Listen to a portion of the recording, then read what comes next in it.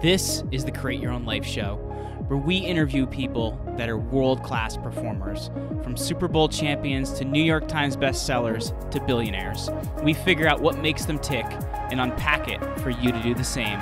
I'm Jeremy Ryan Slate, and every Monday, Wednesday, and Friday, we help you to create your own life.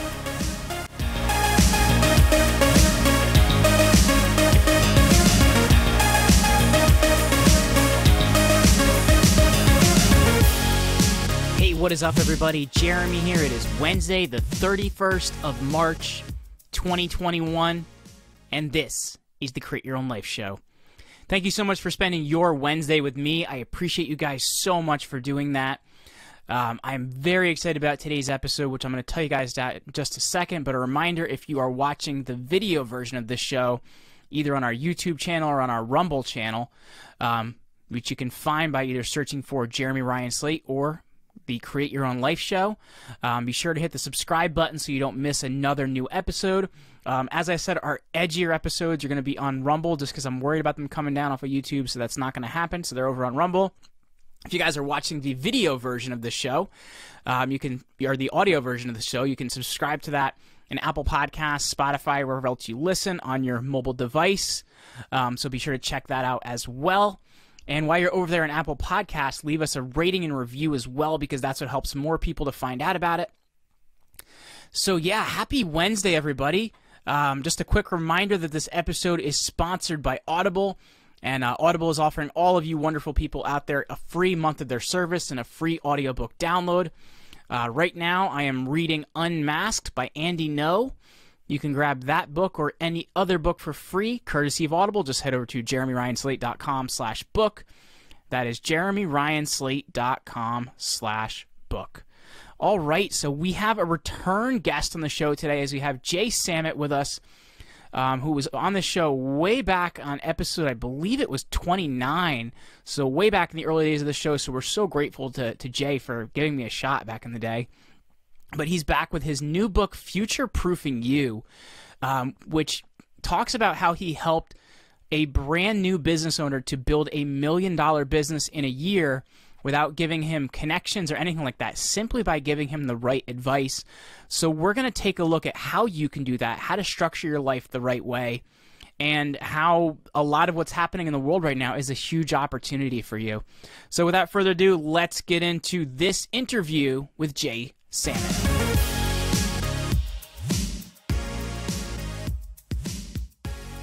Hey, what is up, everybody? Jeremy here, and I've got to tell you, I'm very excited for today's interview um, because we have a return guest. Let's say it was literally one of our first 20 episodes. You know, somebody that took a chance on me in the very beginning when I was literally nobody. And uh, he is a best-selling author, an incredible human being, and I'm just stoked to chat with him today. Jay Samit, welcome back to the Create Your Own Life show. Thanks for having me, Jeremy. Jay, I'm I'm really excited to, to have you on the show. And I just want to know first and foremost, you know, disruption has been, you know, a really big theme in a lot of what you're talking about. And I'm curious, um, you know, why now you're kind of taking a little bit of a move to future proofing. Like why the why the eyes to the future now? So I spent five years telling everybody that whether by choice or circumstance, every career gets disrupted. I don't think I have to make that point anymore. 2020 happened, man. no? and, and, it's funny, about uh, five, six years ago, I did a speech uh, for Singularity. What's the biggest disruption that you see in our lifetime? And I gave a speech on pandemics. And I don't think anybody believed me. Uh, but what I noticed is, all jokes aside, I've always said disruption isn't about what happens to you, it's how you respond. So in 2020, the 150 richest people in the US doubled their net worth. Not what they make in a year, they doubled their lifetime worth. The bottom 140 million people are fighting over 1%.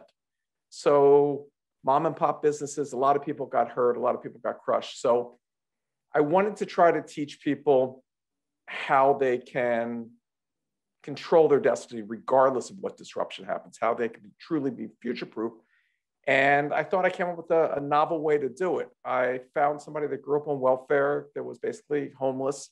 And I mentored him one day a week, a millennial, for a year and gave him no capital, no contacts, didn't tell him what business to start. He had to start a business that took no capital. and he went from welfare to self-made millionaire in 11 months. So wow. gave away the big ending. Um, but I boiled down our mentoring sessions down to 12 truths. And if you follow these truths and you work your butt off, it's not like he just like laid in bed.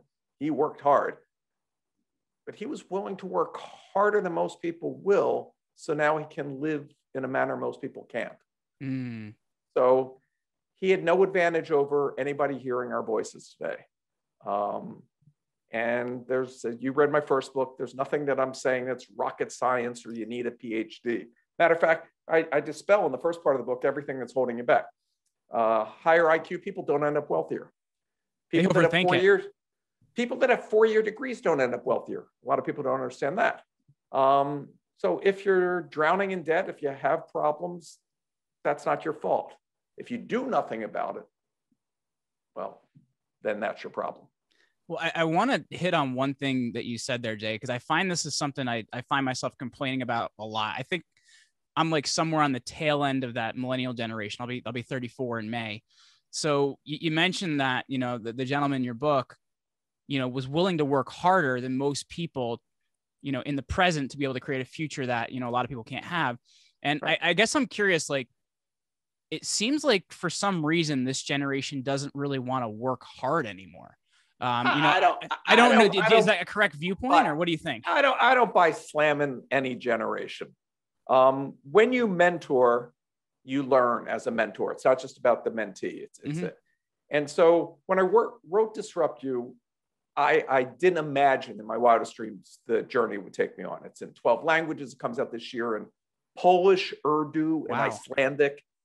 And I get tons of emails from people. I've kept track of 140 countries of how it's changed their life. They do the work. There, I just held up a mirror to their soul.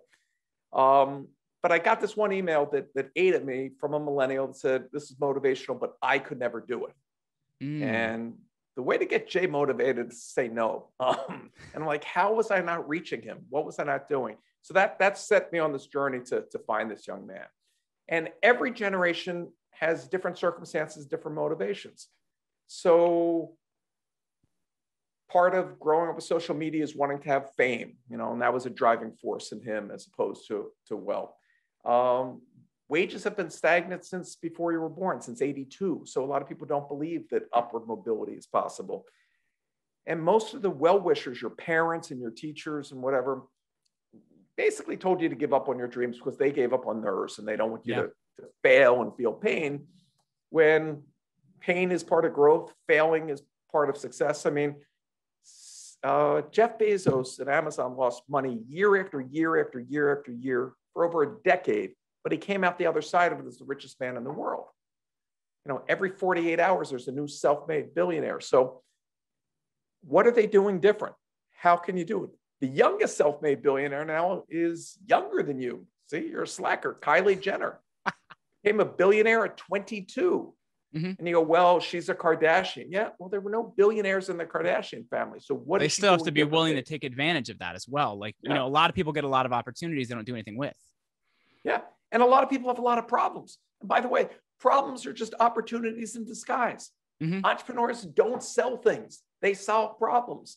Solve for five people, you have friends. Solve for a million, you're wealthy. Solve for a billion, you change the world. I mean, if you would have told me when I was your age and I was struggling and trying to figure out everything and making every freaking mistake imaginable because I didn't I didn't get help. I didn't understand that help was always available. That dozens of my everyday friends became self-made billionaires. I'm like, how is that possible? Like, and so now I see it. And one of the oversights that wasn't in Disrupt You, that's one of the 12 truths, is don't fly solo. Mm-hmm. There are so many people that want to be your mentor that are out there and I teach you the techniques to find them on LinkedIn. And to know you don't cold send an email, will you be my mentor? That's like walking a bar and saying, hey, will you have my baby? It doesn't work that way. Um, but there is a way to find it. And you're going to need a series of mentors because our world keeps changing. Well, I, I, think a big part of it is is outlook, and I, I heard you mention on an, another show that you did just a couple weeks ago, where you talked about there's there's two questions that you ask yourself every morning, or two things you you say every morning. One is that today is going to be better than yesterday, and I have the power to make it so and and i think viewpoint and you know the viewpoint you have has a lot to do with your level of success so let's talk a little bit about that like how does sure. starting your, your viewpoint like that really help truth you? truth number one you have to have a growth mindset um, I, I tell the story in the book when i was in southeast asia i saw loggers they, they use these big bull elephants to pull these logs all day i mean these massive 8000 pound creatures and at the end of the day, they tie them up with a little little rope that's like this this thin. And I couldn't understand it. And, and so I asked one of the guys, like, why don't they just break free? And he said, well, when they were little baby elephants, they weren't strong enough to pull that rope. So they were conditioned. So then they gave up trying. And so I ask everybody in their life that can, has problems, you know, you can break the rope. You know, when did you stop? When did you give up? And, you know, with Vin, I didn't, Vin Clancy is the name of the young man that I mentored. I didn't let him read the book until it was typeset because he got to find something out that, you know, I'm not proud of, but it was part of the process. I lied to him in our very first meeting. Whoops. If I, if I, intentionally, if I was going to get somebody to go from zero to hero in a year, he had to have that growth mindset day one. I didn't have time for him to develop it organically. And there's a psychological principle called the Pygmalion effect. A professor went to school, uh, tested all the kids, told the teachers and the students, these three kids would be super learners this year, super achievers. They outpace everyone. And at the end of the year, they took a test and those kids were it. But the professor lied. He never looked at the first test. He picked three names out of a hat. But if you tell people you're special and you treat them special, they become special. So I told Vin that out of the hundreds of candidates that I interviewed, he was the only one that had all the attributes to be a self made millionaire. And he internalized that when in fact, I didn't interview anybody. If I cherry pick the one guy, then it's not a fair future proofing you experiment. I'm going to teach somebody golf. Uh, you, uh, Tiger, Tiger Woods, come over here. I'll teach. No, it's just taking somebody. And 30 days in, when he had made $60,000, you know, or two months in when he was in, in making uh, six figures a month, that's more than anybody in his family made in a year. Mm. I didn't have to make him future proof. I didn't have to build up his his his mindset. He was there because he'd proved it to himself. And by the way, when his business got you know a gut punch and and suddenly got got turned sideways, I thought, okay, he's going to tap out. And so it's a book about a guy who made a half a million dollars. He didn't miss a beat.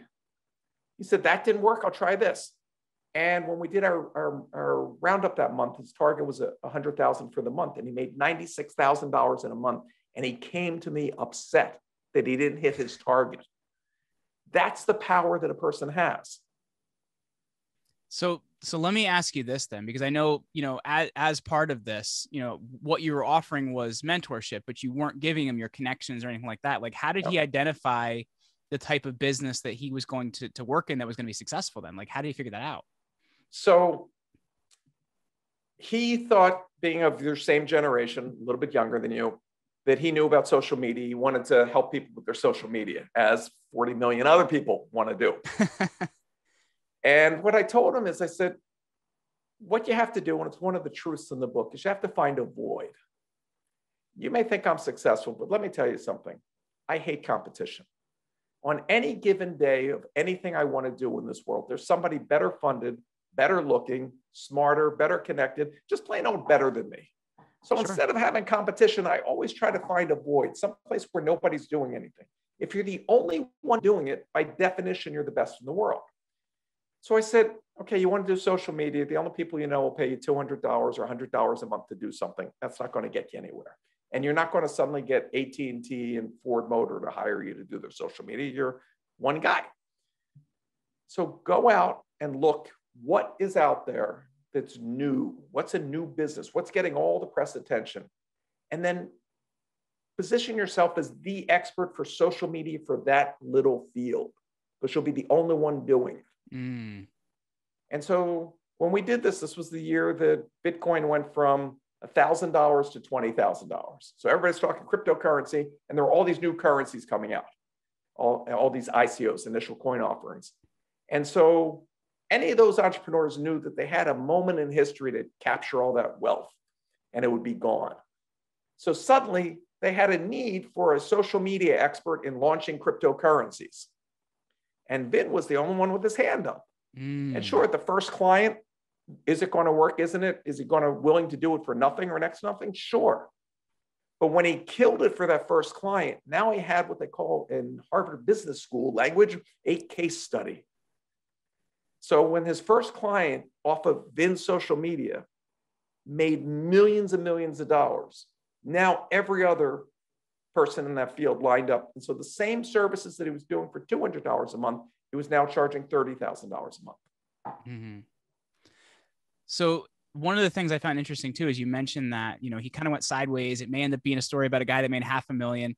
In a situation like that, you know, how did he work his way out of that? And I guess what advice did you offer that helped him through that? Because like we see t- tough times happen, Jay. Like nobody was expecting 2020. I know you were, but not a lot of people were expecting 2020, and a lot of businesses went sideways and still haven't recovered. Yeah. So, so what what did he do in that situation? So one of the things that I told him is from day one, you're going to have to have multiple revenue streams. Mm-hmm. So it's not just building this one business, it's what else can you do? And so he was working on his side hustle to his new thing. And so when the first business suddenly had a hiccup, he suddenly pulled the tools of what he was doing for his other business and shifted his energies. And he created multiple revenue streams. When he suddenly became too busy to take on clients, instead of just passing on them, he would refer them to people to get a referral fee, an ongoing revenue stream of what those people develop. So part of it's also how you structure contracts, how you structure a deal. Even if you're just an employee, you can always, or, or a gig, somebody's hiring you to do something, say, okay, you're going to pay me this amount of money. But if I kill it for you, if I hit this agreed upon goal, if I bring you in a million dollars worth of business, will you pay me a hundred grand bonus? Person goes, sure, you bring me a million dollars, I'd love to. And I've done that so many times in, in, in, my career. Even when I was an entrepreneur, even you know something I made up as a title, I was working at a company that was having a huge company, multinational company, EMI, the world's biggest music company, mm-hmm. home of uh, Freddie Mercury, the Beatles. I mean, Norah Jones, go on and on. And Napster came out and you know, laying off half the people. The CFO, the CEO are looking at each other. One of them's going to lose their job. You know, the, the business is down 50%. So all they could do was hammer, you got to hit your numbers, you got to hit your numbers, no ideas. So I went to them and I said, okay, here's a stretch goal. If we hit this, this number, can every one of my employees get double their salary? And they go, sure, if you could hit that number, of course. So I took a picture of our CFO, his name was Tony, and I made one of those charity thermometers, you know, where you fill in the little red stuff. And I had on my wall, my staff meeting every week was let's make Tony smile. And at the end of the year, everybody got all that extra money, and the rest of the company hated our guts. I, I love that. So I guess in, in that case, like, how did you figure out that they would all buy into that goal? You know, like how did how did how did you figure that they'd be that excited about it? Because for some people, it's not just about money, right? Like it's about duty yeah. or whatever it is. But but let let's describe most people that work in large organizations. They're paid just enough not to quit, but not enough to care. Um, most people, you know, just get beat down and they're just trying to, you know, hold on to their job. So the idea that anybody in a large corporation could suddenly take home twice as much money, suddenly the clouds part, the sun comes to them, and all of their problems can be solved. And uh, when you then have that positive growth mindset as a team, mm-hmm it's amazing the new ideas that come up from everywhere and the team effort to make it happen because you're all pulling for a common goal. So I, I guess in terms of like locating the mentor, we kind of, you know, you, you, mentioned it a little bit in the beginning, Jay. And I think for a lot of us, that's the missing step in what you're talking about here, like having that person to kind of hold us accountable or let us know we need help in different things. But there's so many options out there, especially online. Like we don't know who's telling the truth. We don't know who's lying. Like who, who do we even know who to work with? So there's a lot of techniques. Um, you know, as you know, I work with Reid Hoffman to help launch and start LinkedIn. On LinkedIn, you can see people that write articles that are in your field, that are in your subject matter, that are further along in their career. You know, start a dialogue with them. Find somebody that you share value. Look in their profile. Are they involved in charities? Or they, or you know, what's something that connects you? Did they grow up on a farm and you grew up on a farm? And it will naturally happen the same way that you made friends in life. You know, you, you didn't run an ad, I need a friend in high school. You found people that saw the world the same way.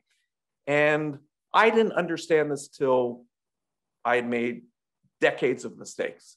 I, I, I got lucky with a mentor at that same music company was my first mentor. He was Richard Branson's original partner. Talk about an wow. entrepreneur. And I got brought in to save the music industry. And I walked into the CEO and I'm like, I know nothing about the music industry. And it's like, I got 11,000 people that know about the music industry. What I don't have is a future. So we developed a relationship that every time I came up with a wacky idea, he would tell me why it won't work. Not this idea sucks. Here's what you have to solve for. And eventually we launched things like Pandora and digital downloads and I mean, all these new things because there was no fear of failing. Mm. And that's one of the things I address in the truth. You have to fail. If you're not failing, you're not trying, you're not growing.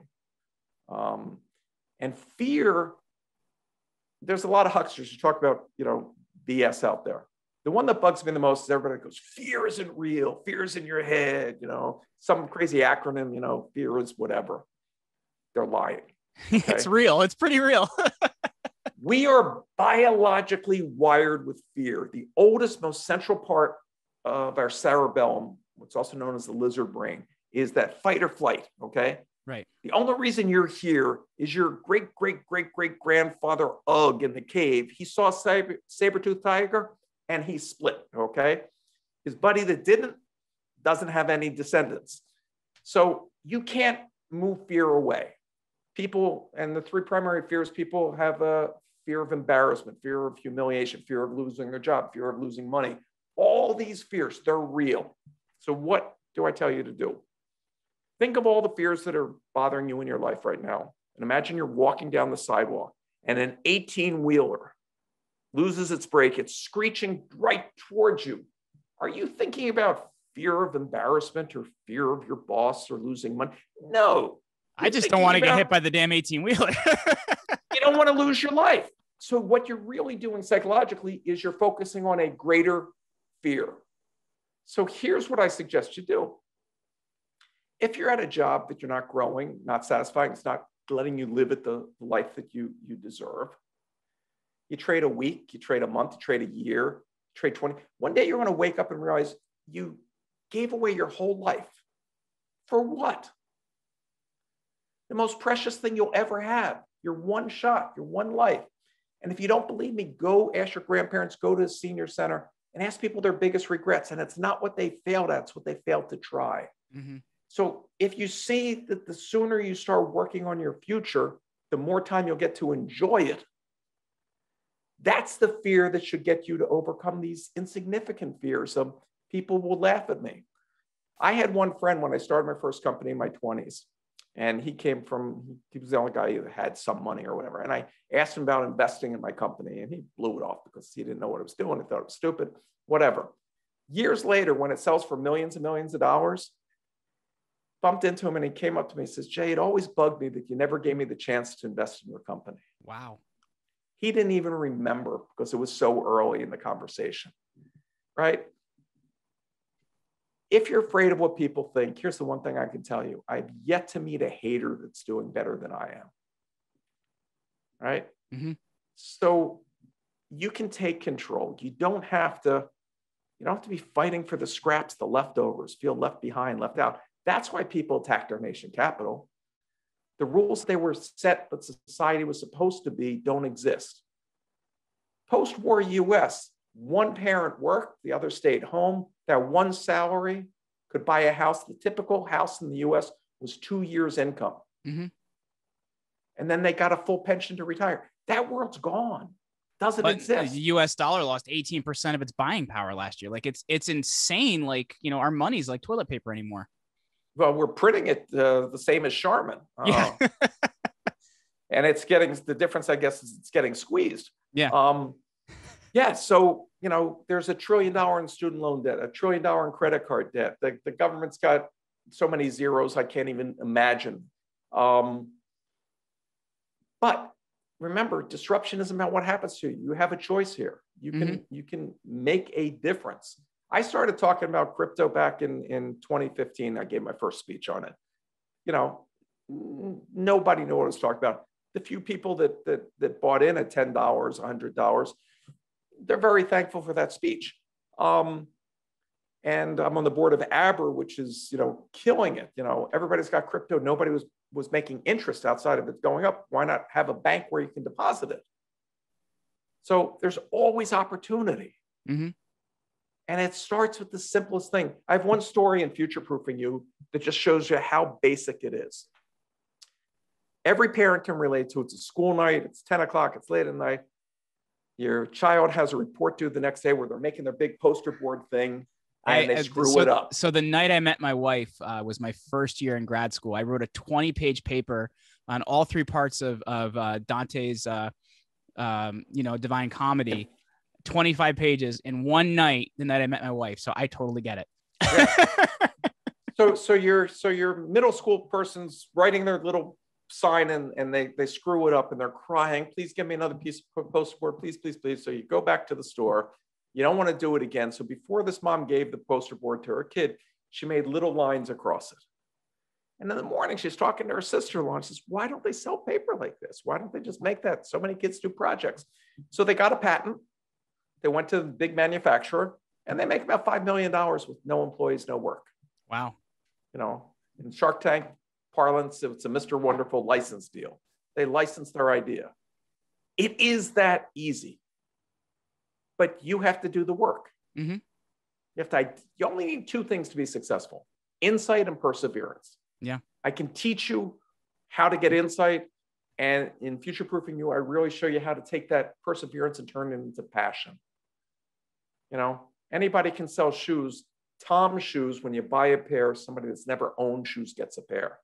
That suddenly brings meaning and feeling to your customers, to your employees, to your product every business can start thinking more about ways to put passion into what they do. Well, that, that brings up two things for me, Jay. Like uh, just hitting on what you said. Um, one, you said a few minutes ago is you, you mentioned about every time you came up with a crazy idea, you had somebody that it was their job to tell you no, that it wasn't going to work. And, and I, the thing I, the thing I like about that is, you know, uh, with the people we have on our team, they know when a problem happens, I want you to come to me with a solution. Because if you're going to come to me with a problem, I'm going to ask you, well, what problem is that going to create? And what problem is that going to create? Because when you get somebody in a mind of creativity, they can solve some amazing problems, man. And I think it's really important to be creative with what we're solving. I'll give you a tip that I use because it's a lot to have somebody come up with a solution. Yeah. So I ask people to just come up with half an idea. I can't tell you how many times I've walked into a meeting with half an idea, but by the time you get the collective wisdom, you now have a whole idea to work on. And, and that's what's great about having a motivated team, you know. And you mentioned as well um, people with regrets on their deathbed uh, about you know like what they never did. And I, I had one of my favorite authors on the, on the on the show last year, Brad Thor, and he talks about you know he had this travel show on TV and he was doing all these different things, but he really uh, wanted to write. So one day his wife asked him, you know, what would you regret not doing in your deathbed? He goes, well, if I never got to write, I would regret it. So she says, okay, you go write that book. So he goes to France to just, you know, write the book. On the train, he meets a publisher and that hits off his career. When you also decide, like sometimes you put yourself in that right situation if you take action. Yeah, well, the the harder I work, the luckier I get. and and I'll give you a great example. At the beginning of this pandemic, last January, last March, March 2020, I didn't think we'd be as incompetent as a nation as we turned out to be. Okay, I thought maybe we'd be locked in our homes 60 days, 90 days, you know, we'd, we'd get past it. And I wanted to show people that if you didn't catch the disease, if you didn't suffer from this horrible plague, that there's a silver lining in everything. That's my growth mindset. So for me, January last year, I was in 12 countries and four continents. I mean, my life was on an airplane. I never had time. So all of a sudden, I was getting the gift of time. I would be locked in the house for, for a month or two months wow, what could I do? What have I always said, like that guy with the book? So in my private life, I've always created art. I paint, I paint watercolors. I don't do it to be famous. I didn't do it to be a painter. I do it because it pours out of me. But I decided to show people that silver lining that I was going to put up a painting every day during the pandemic. And I did it for the first 100 days. But much like your author story, the same thing happened to me. I put it up on social media. People liked my art. Art galleries like my art. Art agents like my art. Fast forward, I have a solo show in New York in October. Congratulations. Famous people buying my work. I always imagine it hanging in the bathroom. I can't believe I'm an artist. Um, and I get commission work to, to do stuff, all because I put myself out there. Mm-hmm. That's what it takes.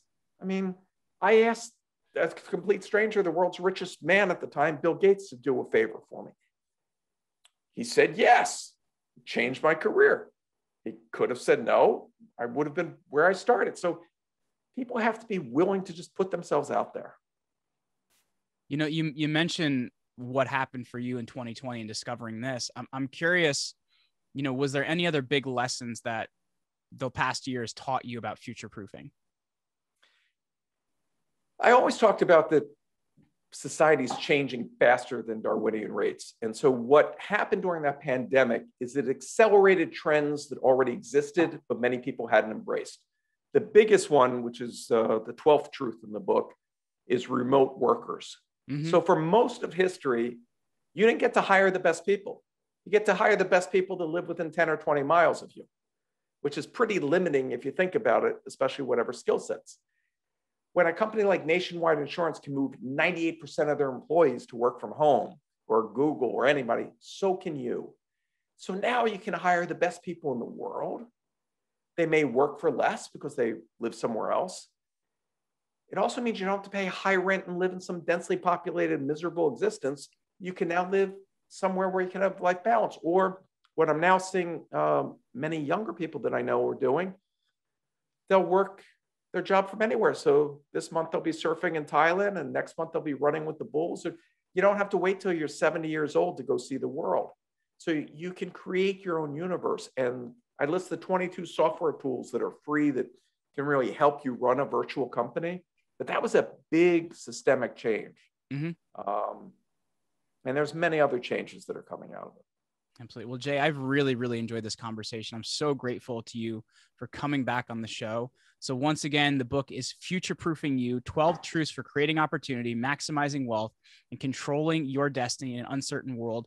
I know you also have a workbook with it as well. Where can we find out more about that? And where can we find out more about you, Jay? Um, so the, the book, you can get an audiobook, Kindle, uh, you know, paper uh, on Amazon, wherever books are sold. The workbook is exercises to get more out of each chapter. It's free, there's no upsell. Just go to my website. It's my name, J A Y S A M I T.com. And I also have workbook for the first book. And I'm just trying to pay it forward. I've been lucky. I learned most of my lessons the hard way. Nobody makes it on their own. So if my slaving through some of these things can ease someone else's journey, then that gives meaning to the work that I put in. And if you agree with me that an entrepreneur's real job is solving problems, then don't we want to encourage more people to solve problems? We've got a lot of problems out there.